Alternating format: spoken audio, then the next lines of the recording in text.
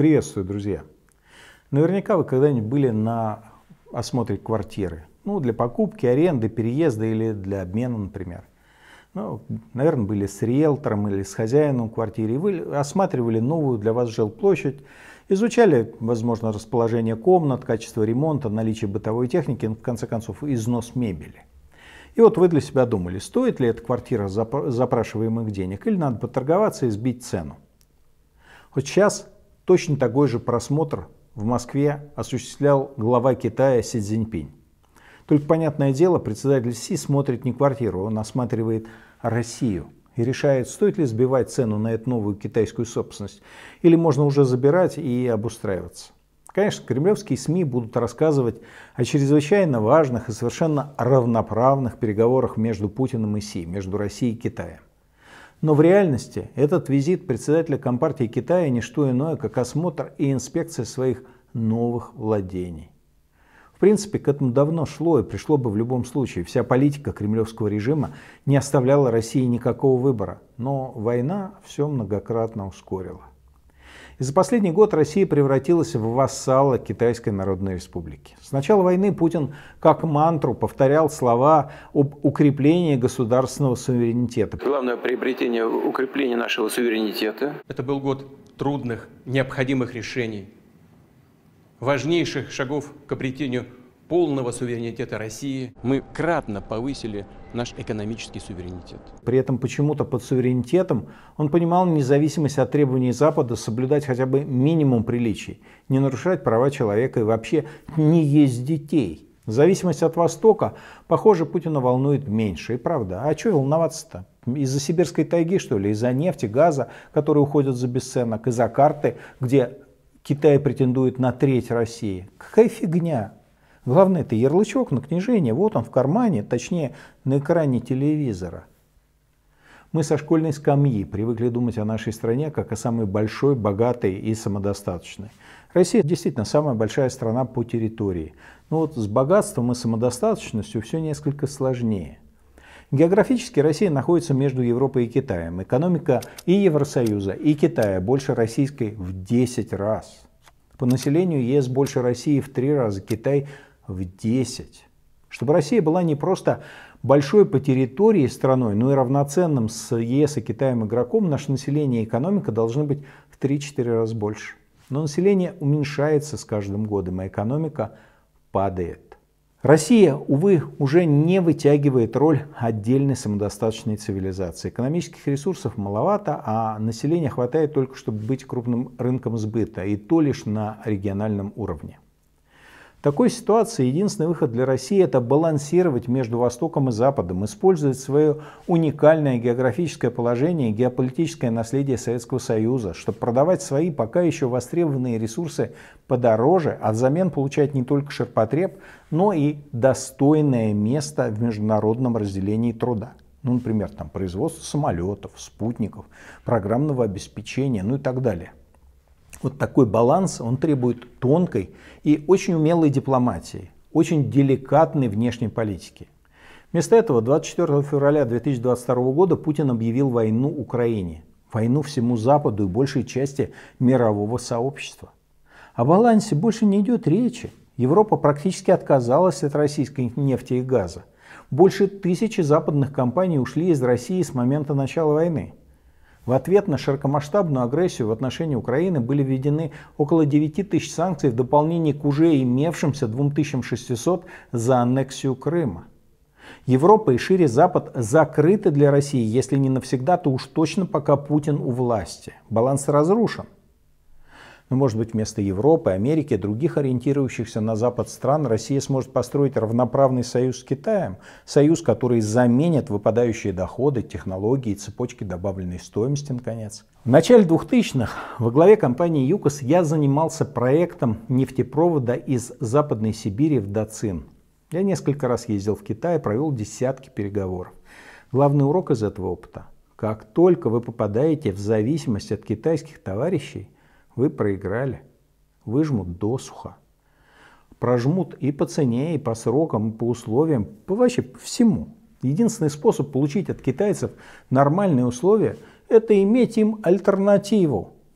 Стараниями Путина у России больше нет альтернативы Китаю. Китайцы это прекрасно знают. Юань является самой торгуемой валютой на российской бирже. Половина ликвидных средств главной российской кубышки фонда благосостояния хранится в китайской валюте. Россия главный поставщик газа в Китае. Китай близок к тому, чтобы стать главным покупателем. Китайские товары составляли 40% российского импорта товаров в конце 2022 года. Только Северная Корея сейчас больше зависит от китайского импорта, чем Россия. 11 из 14 брендов на автомобильном рынке России китайские. Доля китайских марок на рынке грузовиков уже превысила 60%. То есть отношения с Китаем это не просто сотрудничество, это зависимость, причем зависимость колониального типа. Китай получает из России природные ресурсы по ценам ниже рынка, а взамен Россия становится рынком сбыта для китайских товаров, участие из которых нет альтернативы. Вот такая вот win-win игра, в которой всегда выигрывает Китай. Причем Китай получает не только экономические, но и политические преференции. Сколько гневных ответов получила достаточно маргинальная украинская инициатива о переименовании России в Московию. Но Китай на достаточно высоком и официальном уровне использует на своих картах России китайские топонимы для городов Сибири и Дальнего Востока, намекая как бы, что это наша территория.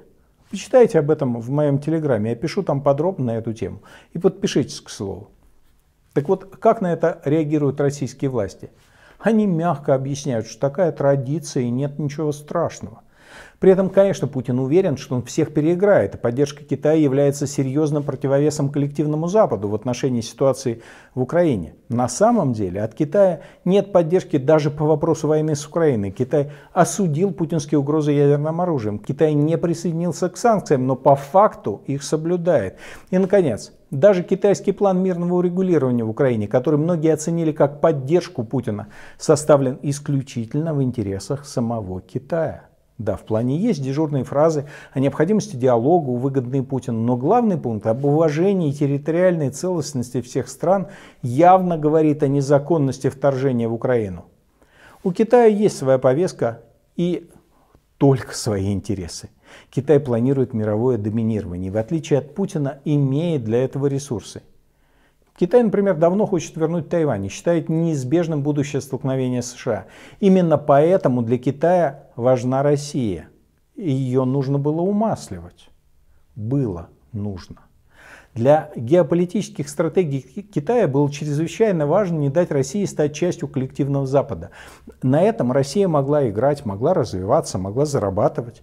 Но Путин начал войну, и теперь не Китай нуждается в России, а Россия нуждается в Китае и полностью от Китая зависит, и полностью Китаю подчиняется. Помните, был период, когда Путин то и дело грозил миру ядерным оружием, а потом, после разговора с Си, как-то вот перестал это делать. Китайцы же люди прагматичные, они понимают опасность ядерного аргумента для их китайских интересов в Европе, да и вообще. А зачем им-то умирать? Поэтому ядерное оружие они имеют, но сами им не размахивают и вассалам своим не дают. Или помните, как Кремль сначала отреагировал на 12 пунктов мирного плана Си. Мол, мы приветствуем мнение Китая, но пока оно не особо релевантно. А потом председатель Си приехал в Москву, провел беседу с другом Владимиром, и, о чудо, китайский план внезапно стало можно принять за основу. Чем глубже Россия проваливается в войну, тем больше влияния на нее Китая. Несколько дней назад Гаагский уголовный суд выдал ордер на арест Путина. Это на самом деле очень важное событие. Это не просто признание Путина военным преступником в юридическом смысле. Это еще и черная метка, которую нельзя отозвать. Ордер на Путина действует либо пожизненно, либо пока над ним не пройдет суд. А что это означает в контексте отношений с Китаем? Это означает, что Китай потребует и получит еще больше преференций. Ведь кроме Китая Путин даже никуда и поехать-то практически не может. Россия попала в финансовую, политическую, технологическую зависимость от Китая. Для до начала войны путинский режим мог претендовать на статус ну, то ли младшего партнера Китая, то ли хотя бы сырьевого придатка. С началом войны Россия превращается в колонию восточного соседа. Китай главный выгодоприобретатель путинской агрессии против Украины. Он выигрывает и политически усиливая свое влияние на главный военный конфликт на планете, и он безусловно выигрывает экономически. Он расширяет пространство хождения юаня, получает сырье на выгодных условиях и занимает новые малоконкурентные рынки сбыта. Китай, безусловно, выигрывает и в военном смысле. Запад вынужден тратить финансовые и военные ресурсы на поддержку Украины, ослабляя тем самым свои возможности в регионах, важных для Китая. Все это происходит за счет России. Наша страна сейчас для Китая инструмент. Инструмент, при помощи которого Китай решает свои стратегические задачи. Ну а что будет с этим инструментом потом, для Китая маловажно. Если инструмент развалится, ну, в общем, даже лучше. Будет кучка таких же зависимых инструментиков. Путин опирается на Китай достаточно давно, опирается с целью сохранения личной власти и безопасности.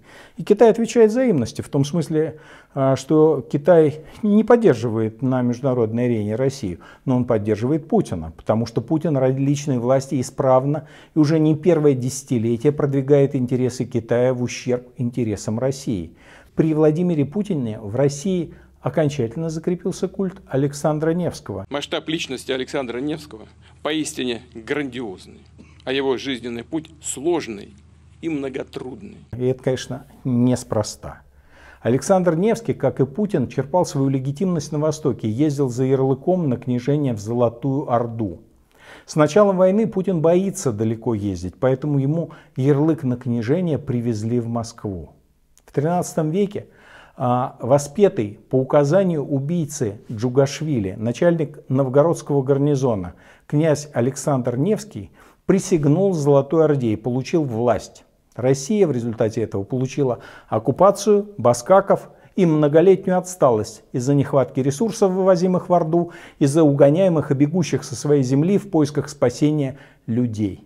Важно помнить, что татаро-монгольская ига продлилась еще два века после этого предательства. Счастливо вам! Нам очень нужна власть, которая будет работать в интересах нашей страны, а не какой-то другой.